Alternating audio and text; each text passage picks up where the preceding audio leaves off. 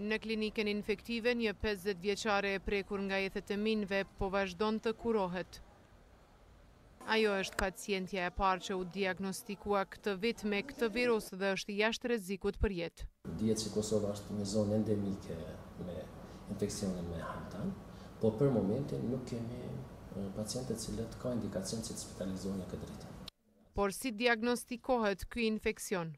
Pasi vjen një pacient në klinikën infektive, i nënshtrohet ekzaminimit objektiv, aspekteve anamnestike, pastaj fillojmë që të bëjmë edhe analizat e zakonshme, qoftë hematologjike ose biokimike, më pastaj bëjmë edhe ekzaminimin në aspektin serologjik dhe tani më kemi edhe mundësinë e diagnostikimit në nivel molekular përmes metodës së PCR-it. Pra në klinikën infektive ne kemi infrastrukturë laboratorike të mjaftueshme të nivelit shumë të mirë, pothuajse të nivelit botëror, të diagnostikimit të kësaj sëmundje.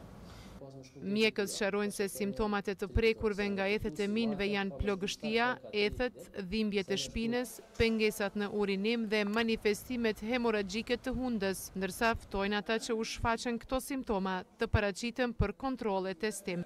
Instituti Kombëtar i Shëndetit Publik të Kosovës njofton se virusi është më i përhapur në rajonin e Dugagjinit, në Karadak dhe Shalë, varësisht nga shumimi i minjve. Sëmundja përhapet me konsumimin e ushqimit të rënë në kontakt me minj, por edhe përmes frutave të palara të malit.